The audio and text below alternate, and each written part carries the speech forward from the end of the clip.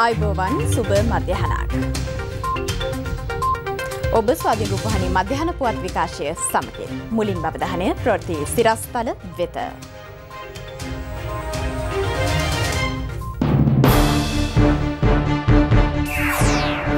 මන්ත්‍රීවරුන්ට ඇස්ට්‍රාසෙනිකා දෙන හැටි බලන්න කතානායකත් ඉන්දීය මහකොමසාරිස් එක්ක හමුදාපතිත්තේ. සාමාන්‍ය පෙළ සෞඛ්‍යාරක්ෂිතවම පවත්වන්න විශේෂ මාර්ගෝපදේශ මාලාවක්. රුපියල් කෝටි තුනකට වැඩි හෙරොයින් තොගයක් සමග ජාවාරම්කරුවෙකු අත්තඩංගුවට. DNA පාලනය කරන මඩකල්පෝ මහනගර සභාවට එරෙහිව නිලධහරිනුත් සේවකයනුත් උද්ඝෝෂණයක. කැලෑ විනාශ කරන්නන්ට එරෙහිව දැඩි ක්‍රියාමාර්ග ගන්න ආරක්ෂක ලේකම් සූදානමින්. කොරෝනාවේ විකෘතියකින් බ්‍රිතාන්යයෙන් අලුත් කොරෝනාවක් මතුවේ.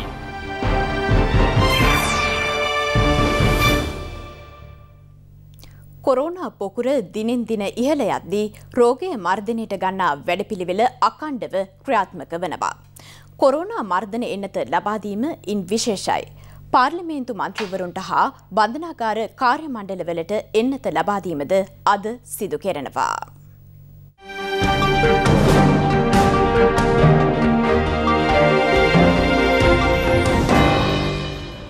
ඊයේ දිනේදී කොරුණ ආසාධිතයන් හත්සේ පනස් හය දෙනෙකු හඳුනා කැනුණ ඔවුන් සියලු දෙනා දේශීව හඳුනාකත් පුද්ගලයන් ඔවුන් දිස්ත්‍රික්ක විසි දෙකට අයත් වනවා. වැඩිම පිරිසක් කොළඹ දිස්ත්‍රික්කෙන් වාර්තා වුණා. එම සංඛ්‍යාව එකසිය හැත්තෑ දෙකක් ගම්පහ දිස්ත්‍රික්කෙන් ආසාධිතයන් එකසිය හැට අට දෙනෙකු සහ රත්නපුර දිස්ත්‍රික්කෙන් ආසාධිතයන් හැත්තැතුන් දෙනෙකු හඳුනා කැනුණා. අනෙක් ආශ්‍රිතයන් තුන්සේ හතලිස්තුන් දෙනා සෙසු දිස්ත්‍රික්කවලින් වාර්තාවී තිබෙනවා. මෙතර ඒ දිනේදී මරණ හයක් වාර්තාවීමත් සමග මෙරට සමස්ත COVID-19 මරණ සංඛ්‍යාව හාරසිය නවයක් දක්වා ඉහළකයා. ඔවුන් සියලු දෙනා පිරිමි පුද්ගලයන්. පානදුර ප්‍රදේශ පදිංචි හැත්තෑ හතර හැවිරිදියයෙක් විල ඔය ප්‍රදේශ පදිංචි හතලිස් හැවිරිදියයෙක් පිළියන්දල ප්‍රදේශයේ පදිංචි හතලි සට හැවිරිදි අයක්කේ අතර වනවා. කොච්චිකඩේ ප්‍රදේශයේ පදිංචි හැත්තෑ හත් හැවිරිදි පුද්ගලෙක් අම්බලන්කොට පදිංචි හැට පස් හැවිරිදි පුද්ගලෙක් නයින මඩම ප්‍රදේශයේ පදිංචි හැට දෙහැවිරිදි පුද්ගලෙකුද COVID-19 වෛරසය ආසාධනය වීමෙන් මිය ගොස් තිබෙනවා. අදුදැසන වන විට මිනුවන්ගොඩ ඇඟලුම් කර්මාන්ත ශාලාවේ සහ පෑලියගොඩ මත්ස්‍ය වෙළඳ පොළ පොකුරින් වාර්තාවන සමස්ත කොරුණා ආසාධිතයන් සංඛ්‍යාව හැත්තෑතුන් දහස් හයිසිය හැට දෙකක්. ඉන් පුද්ගලයන් හැට නවදහස් තිස් පස් දෙනෙකු පූර්ණ සුවය ලබා රෝහල් වලින් පිටව ගොස් තිබෙනවා. එයනු මෙරටින් වාර්තාවන සමස්ත කොරුණා ආසාධිතයන් සංඛ්‍යාව හැත්තැහත් දහස් එකසිය අසූ හතරක්. හයි දහස් තුන්සේ හතලිස් හය දෙනෙකු රෝහල්වල ප්‍රතිකාර ලබමින් සිටිනවා. පූර්ණ සුවය ලබා පුද්ගලයන් හැත්තෑ දහස් සාරසිය විසින් නව දෙනෙකු රෝහල් වලින් පිටව ගොස් තිබෙනවා. ත්‍රිවිධ හමුදාමකින් පාලනය කරුන් ලබන නිරෝධහන මධ්‍යස්ථාන අසූ නවයක් තුළ පුද්ගලයන් නවදහස් අනු නව දෙනෙකු නිරෝධහනය වෙමින් සිටිනවා. ඒ දින තුළ පමණක් PCR පරීක්ෂණ එකොළොස් දහස් හත්සිය විසිය එකක් සිදු කර ඇති බවයි COVID-19 පැතිරීම වැලැක්වීමේ ජාතික ක්‍රියාන්විත මධ්‍යස්ථානයේ නිවේදනය කරන්නේ. මෙ අතර කොරුණා නව ප්‍රභිහිදේ සහිත රෝගින් අවිස්සාවේල්ල වෞනියාව වැනි ප්‍රදේශවලින් වාර්තාවී ඇති බව සෞඛ්‍ය අංශ පවසනවා. බස්නාහිර පලාත තුළ වැඩිම පැතිරීමක් ඇතිවීමට ඉහළ ජන ගනත්වය හේතුවී ඇති බව ඔවුන් පෙන් පාතෙනවා. මොකාවරණ දෙකක් පැළඳීමේ ප්‍රතිඵලයක් ඇති බවත් කළ යුතු වන්නේ මුඛ ආවරණය නිසි ලෙස පැළඳීම බවත් නියෝජ්‍ය සෞඛ්‍ය අධ්‍යක්ෂ ජෙනරාල් විශේෂඥ වෛද්‍ය හේමන්ත හිරත් මහතා පවසනවා. කොරුණා එන්නත ලබාගත යුතු වන්නේ රෝගය බෝවීමට පෙර බවද ඔහු අවධාරණය කරනවා. ශරීරයට වෛරසය ඇතුළුවීමෙන් පසුව එන්නත විදීමෙන් පලක් නොබන බවයි ඒ මහතා තවදුරටත් පෙන් පාතින්නේ. අපිට යම් ආරක්ෂාවක් බෝවීම වලක්වීම සඳහා ලැබෙනවා ඒකත් නිසි පරිදි ලැබෙන්නේ මේ රටේ ජනගහනයෙන් වැඩිම ප්‍රතිශතයකට මේ එන්නත ලබා දුන්නට පස්සේ.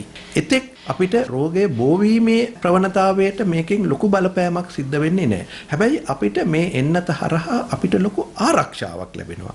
යම් ආකාරයකට මේක පාලනයකට නතු වුණ වහාම සමහර විට මේ තත්ත්වය නැවත සමාලෝචනය කරන්න පුළුවන්. එතෙක් සෞඛ්‍ය පුරුදු අනිවාර්යයෙන්ම පිළිපැදිය යුතුමයි. පාර්ලිමේන්තු මන්ත්‍රීවරුන්ට කොරුණා එන්නත ලබාදීම නාරහින් පිට යුද හමුදා රෝහලේදී අද දිනෙත් සිදු කෙරෙනවා. අමාත්‍යවරුන් රාජ්‍ය අමාත්‍යවරුන් හා පාර්ලිමේන්තු මන්ත්‍රීවරුන් කිහිප දෙනෙකු මෙවන විටම ස්ථානයට පැමිණ එන්නත් ලබාගත් බවයි අප වාර්තාකරුවන් සඳහන් කළේ. කතානායක මහින්දයාපාවේ වර්ධන යුද හමුදාපති ජනරාල් ශවේන්ද්‍ර සිල්වා හා ශ්‍රී ලංකාවේ ඉන්දිය මහකොමසාරිස් ගෝපාල් බග්ලේ යන මහත්වරුන්ද මෙම ස්ථානයට පැමිණ සිටියා. මේ අතර පෑලියගොඩ මැනින් වෙළඳ පොළ සේවකයන් හා ව්‍යාපාරිකයන්ට කොරුණා එන්නත ලබාදීමේ වැඩපිළිවෙලක් අද ක්‍රියාත්මක වනවා. අද දිනය තුළ දෙදහසකට එන්නත ලබාදීමට සූදානම් කර ඇති බවයි අපට වාර්තා වුණේ. මුලින්ම අපි රජයට ස්තුතිවන්ත වෙනවා මේ එන්නත අපිට ගෙනත් දීලා තියෙනවා. ඊයේ දිනේදී මත්ස්‍ය වෙළඳ පොලේ එන්නත දුන්නා. මැනින් වෙළඳ පොලේ අද දිනේ ව්‍යාපාරිකයන්ට සහ සේවකයන්ට පමණයි. හෙට දිනේදීත් එමයයි දෙවැනි අධීරයේදී වෛද්‍යවරු පවසන අන්දමට අපිට මේ පැමිණෙන සියලු දෙනාටම එන්නත විද ගන්න පුළුවන්. චම්පා දිස්ත්‍රික්කයේ තෝරාගත් ග්‍රාම නිලධාරි වසම් 15ක සාමාන්‍ය ජනතාව වෙනුවෙන් මෙම එන්නත ලබා දීමේ වැඩපිළිවෙල අද දින ක්‍රියාත්මක වෙනවා. අපි බලාපොරොත්තු වෙනවා 2000කට ලබා දෙන්න පුළුවන් වෙයි කියලා. ගෙවී ගිය පැයි විසි හතර තුළ ලෝපුරා ආසාධිතයන් තුන්ලක්ෂ හතලිස් දෙදහස් එකසිය පනස්සෙක් දෙනෙකු වාර්තා වුණා. මරණ නවදහස් හත්සිය හැත්තැ හතක්. රෝගින් මෙන්ම මරණද වැඩිම සංඛ්‍යාවක් වාර්තාවනි ඇමරිකාවෙන්. ගත වූ පැ වෙසි හතර තුළ ඉරටින් වාර්තාව රෝගීන් සංඛ්‍යාව හැටතුන් දහස් තුන්සිය අනු අටක්. මරණ එක්දහස් හත්සිය අසූ හතක් වාර්තා වුණා. ඉන්දියාවෙන් රෝගීන් එකොළොස් දහස් හත්සිය අනු පස් දෙනෙකු සහ මරණ එකසිය නවයක් වාර්තා වුණා. ගෙවිගේ පැයි විසි හතරට බ්‍රසිලෙන් වාර්තා වූ රෝගීන් සංඛ්‍යාව පනස් පන්දහස් දෙසි හැත්ත එකක්. මරණ එක්දහස් අසූ අටයි. රුසියාවෙන් රෝගීන් දහතුන් දහස් දෙසිය තිස්තුනක් සහ මරණ හාරසිය පනස් නවයක් වාර්තා වුණා. එක්සත් රාජධානයෙන් ගෙවුණු පැ විසි හතරට වාර්තා වූ රෝකින් සංඛ්‍යාව දස දහස් හයිසිය විසි පහ වාර්තා වූ මරණ සංඛ්‍යාව හද්දහස් නවසිය අනු නවයක්.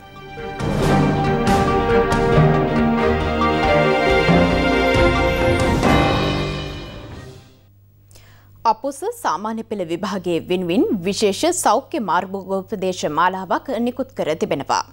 මෙවර අයදුම්කරුවන් සංඛ්‍යාව හය ලක්ෂ විසි දෙදහස් තුන්සේ පනස් දෙකක්.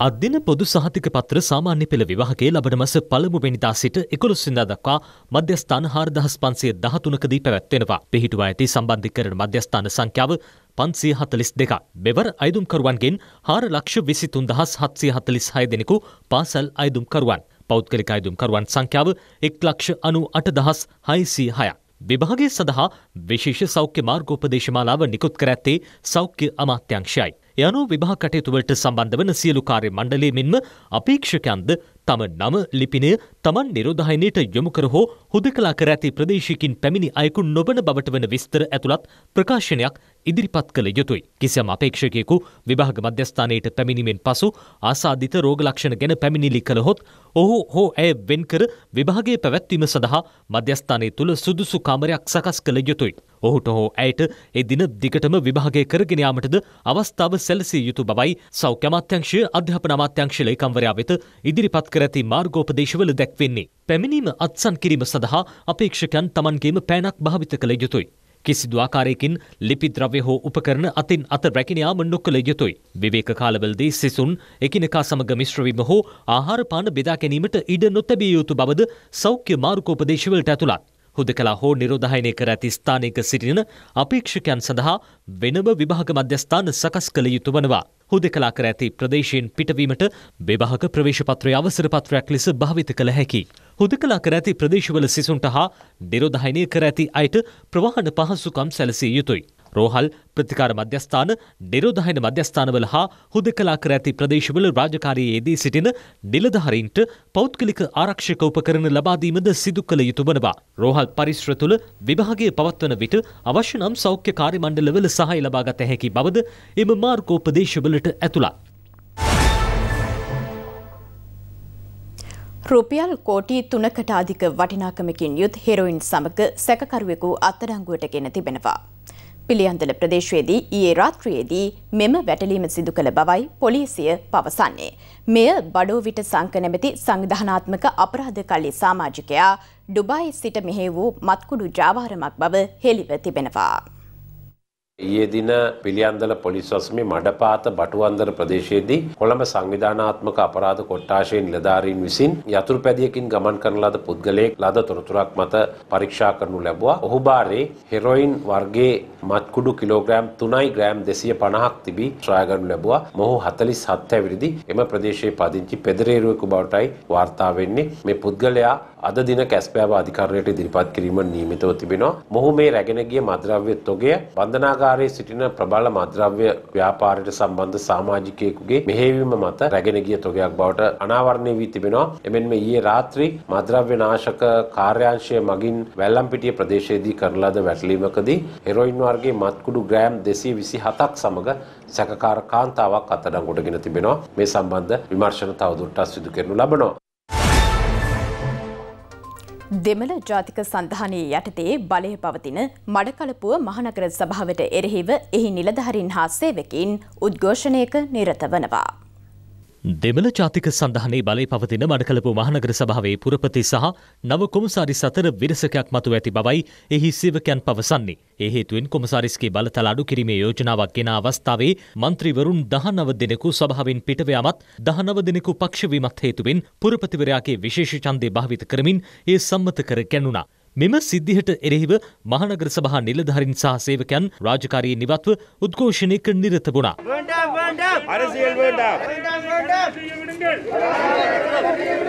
குரிய மரியாதையை வழங்குவார் எங்களுடைய ஆணையாளர் අනතුරුව සිය ඉල්ලීම ඇතුළත් සංදේශයක් ආණ්ඩුකාර්වරයාට බහරදීමටද කටයුතු කළා. වනන්තර විනාශ කරන්නන්ට එරෙහිව දැඩි ක්‍රියාමාර්ග ගන්නා බව ආරක්ෂක ලේකම් ජෙනරාල් කමල් ගුණරත්න මහතා පවසනවා. කොළඹ දිස්ත්‍රික් ලේකම් සමුළුව අමතමිනුයි ආරක්ෂක ලේකම්වරයා මේ බව සඳහන් කළේ. දිස්ත්‍රික් ලේකම් සමුළුව ආරක්ෂක ලේකම් ජෙනරාල් කමල් ගුණරත්න හා කොළඹ දිස්ත්‍රික් ලේකම් ප්‍රදීප් යසරත්න යන මහත්වරුන්ගේ ප්‍රධානත්වයෙන් පැවැත්වුණා. කොළඹ දිස්ත්‍රික්කයේ ප්‍රාදේශීය ලේකම්වරුන් සියලු දෙනා මෙම අවස්ථාවට එක්ව සිටියා. වන විනාශය වැළැක්වීම සඳහා ගුවන් යානා තාක්ෂණයේ යොදා ගන්නා බවද ආරක්ෂක ලේකම්වරයා මිහිදී කියා සිටියා. මේ කාලේ ස්වභාවික සම්පත් විනාශය උපරිමයෙන් සිද්ධ වෙනවා. අපි පුළුවන් තරම් හමුදාවල් සහ පොලිසිය උපයෝගී කරගෙන ගුවන් හමුදාවේ ගුවන් යානා පවා කැලෑවල් උඩට දාලා මම උත්සාහ කරනවා ඒ වගේ තැන් තියෙනවා හොයාගන්න. මේ වන විනාශය අපි කොච්චර උත්සාහ කරත් මේක තවදුරටත් සිද්ධ වෙනවා. මෙතනදී රජයේ සමහර නිලධාරීනුත් මේ අක්‍රමිකතාවන් වලට සම්බන්ධ වෙන අවස්ථාවල් අපි දැකලා තියෙනවා. හමුදාවෙන් හරි පොලිසියෙන් හරි STF එකෙන් හරි ගිහිල්ලා අමු අමුවේ කැලේ කපල්ලා නාස්ති කරනවා දැක්කාම ඒක අල්ලගත්තාම ඒ අයට බලපත්‍ර තියෙනවා. කොහොම එහෙම බලපත්‍ර දෙනවද කියන එක හිතා ගන්න අමාරුයි. ඉතින් ඒක බොහොම වැරදි ක්‍රමවේදයක්. කියන්නේ අපි ඒක ජනාධිපතිතුමාටත් රජයටත් අපි පෙන්නලා දීලා තියෙනවා. රටක සංවර්ධනය වේගවත් කිරීමට අදාළ බුද්ධි සංසරණය වැඩි කිරීම සඳහා රජය වැඩියෙන් පහසුකම් සැලසිය යුතු බව ආචාර්ය ජනක ප්‍රනාන්දු මහතා පවසනවා. ස්වාධීන රූපවාහිනියේ හත්වෙනි පැය සජීව වැඩසටහනට එක්වෙමින් ඒ මහතා මේ බව ප්‍රකාශ කළා. තායිවාන් රජ්‍ය රිජ්ජුව මැදිහත් වෙලා වැඩ පිළිවෙලා ක්‍රියාත්මක වෙනවා පිටරටවල් වල ඉන්න අයව නැවත තායිවානයට ගෙන්වගන්න.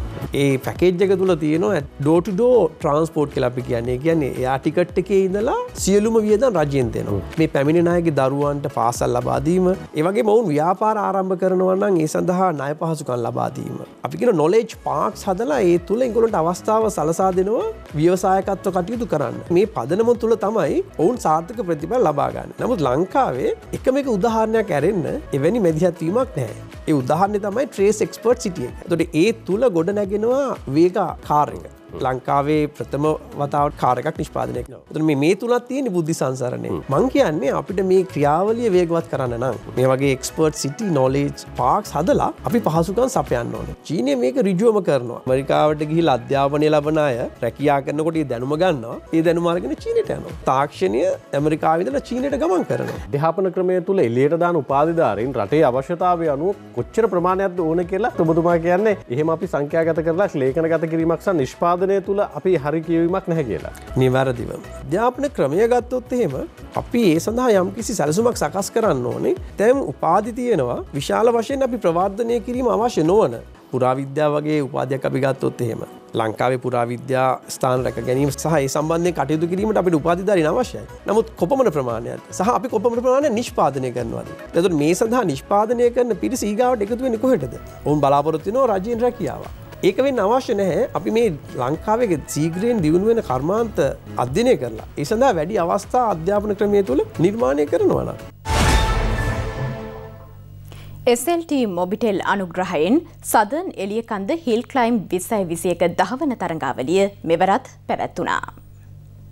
SLT මොබිටෙල් ස්පීඩප් සද නෙලිකන්ද හිල් කලයිම්ස් එලිකන්ද විස්සයි විසියක ධාවන තරඟාවලිය වෙනුවෙන් දක්ෂිණ මොඩරත ක්‍රීඩා සමාජය සමඟ අත්වල් මැද ගැනීමට SLT මොබිටෙල් ආයතනය පියවරකින තිබෙනවා. මෙවර තරගේ සංවිධානය කෙරෙන්නේ විසි පස් වන වරටයි. SLT මොබිටෙල් අනුග්‍රහය ඒ සඳහා කණ්ඩව හය වන වරටත් හිමිවීම විශේෂත්වයක්. ශ්‍රී ලංකා ටෙලිකොම් ප්‍රධාන ශ්‍රවණාකාරය පසුගේදා පැවති මාධ්‍ය හමුවකදී මේ පිළිබඳ තොරතුරු හෙළිවනේ. මෙම මෝටරත ධාවන සැනකෙලිය යතුරුපැදි ධාවන තරගයි සෞදාසයකින් සහ මොඩරත ධාවන තරගේ සව් දාහතකින් සමන්විතයි. ලබන විසිහත සහ විසි අට යන දිනවල තරගය පැවැත්වෙනවා. ශ්‍රී ලංකා ටෙලිකොම් ප්‍රධානාලවි නිලධහරි ප්‍රබාත් දහනායක මහතා මෙහිදී කියා සිටියේ අධිවේගේ අන්තර්ජාල පහසුකම් සංවර්ධනයේ ප්‍රමුඛයා ලෙස තම ආයතනයට මේ සඳහා දායකවීමට හැකිවීම සතුටට කරුණක් බවයි. දක්ෂිණ මොටරත ධාවන ක්‍රීඩා සමාජයේ සභාපති ආචාර්ය සංජය සේදර සිනරත් මහතාද මෙම අවස්ථාවට එක්වුණා.